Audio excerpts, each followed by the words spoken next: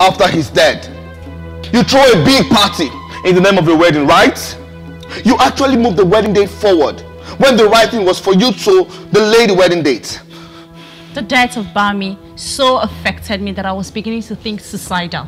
Thinking suicide thoughts. Thinking death was out to claim everyone close to me. And the solution was for you to rush into the wedding, right? The solution was for me to stop being alone. To get married to the man I love. The man who is the solution to my depression. See, I'm not against your getting married. I'm only asking for a little honor for that man you always refer to as your second father. His body is still warm in the grave.